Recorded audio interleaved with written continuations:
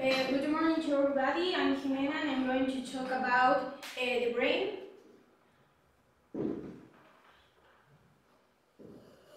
First of all, what is the main aim of this project? Well, it's to discover our brain anatomy through the dissection of a sheep brain. Uh, although the sheep brain is much smaller than the human's one, the structure and the texture is more or less the same. To carry out the brain dissection, we need these materials, the sheep brain, a dissecting drive, a knife, gloves, um, a wood stick, and a camera.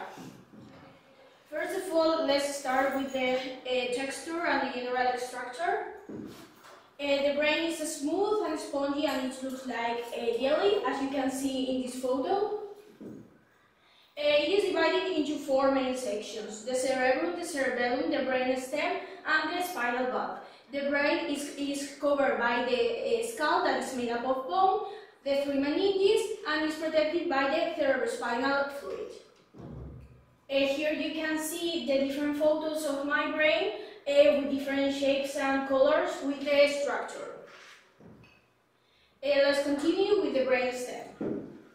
Uh, the brain stem is a region that, con that connects the brain to the spinal cord. It is located uh, at the posterior part of the brain and it has several functions. It regulates sleep, respiration, it has a, a relation visual and audition reflexes, it regulates blood pressure and heart rate and connects uh, all the uh, brain parts and also it controls the stimuli sent to the brain. Uh, here you can see a photo of the brain stem. As you can see it's hollow because we can introduce uh, the Buddha stick and it's made up of a red matter but it's covered by white matter.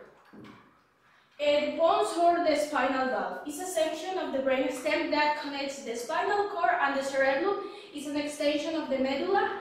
Uh, so the location is between the medulla and the midbrain and it has autonomous functions that regulate uh, several body functions like heart rate, blood pressure, breathing.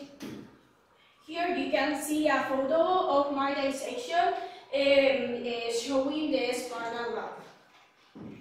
Uh, the cerebellum is an organ very easy to identify because uh, if we cut it, we can see uh, like a tree because it's called the tree of life. The location is, between, eh, is located between the back of the brain and it has a eh, eh, different functions. It is very important while we are doing movements or exercise because it controls movement. Uh, here you can see the photo of the brain, small brain.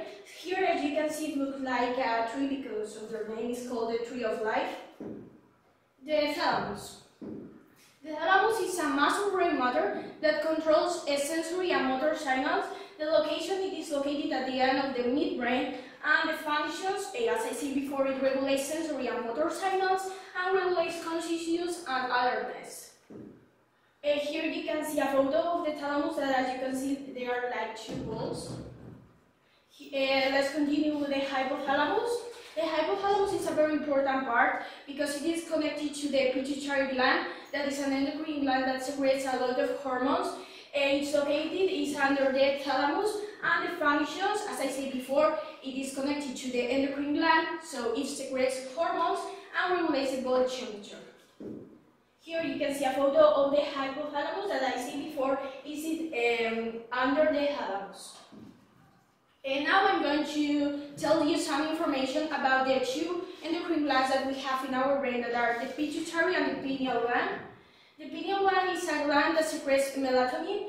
Uh, its location is, uh, is located in the deep center of the mid midbrain and as I said before, its main function is to regulate uh, melatonin and, secrete it. Uh, the pituitary gland is it called the master gland because it secretes a lot of uh, hormones that are called stimulating hormones.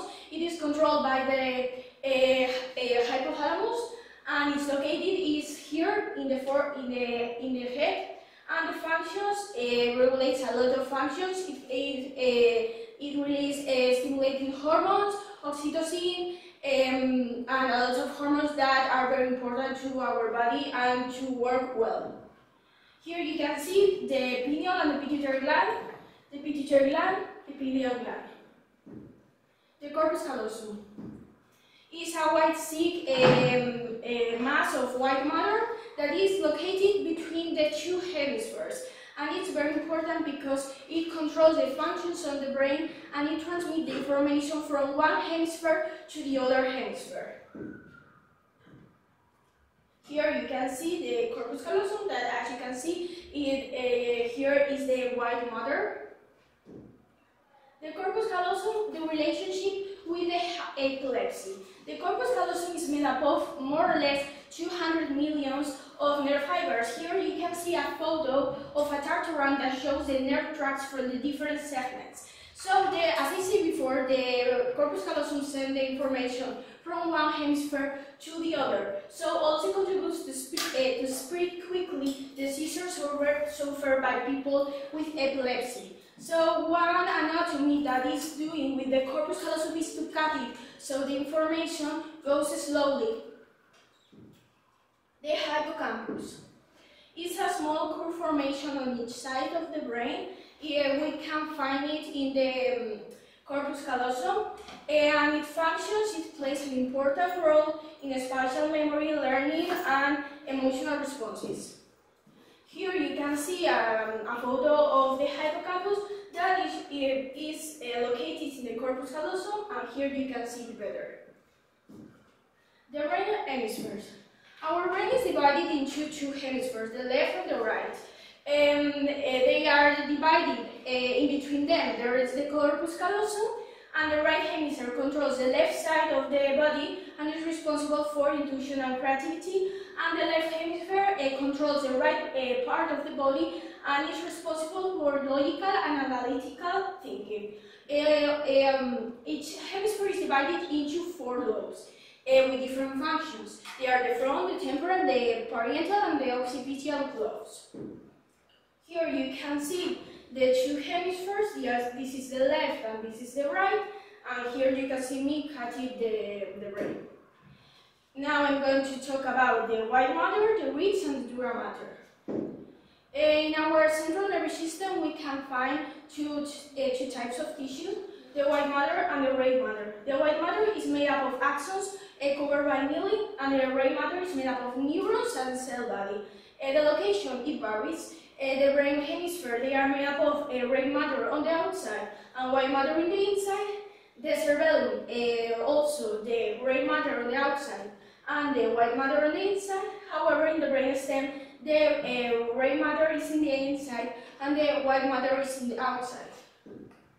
Here you can see uh, in the brain hemispheres, this is the white matter, and the cerebellum, this is the white matter.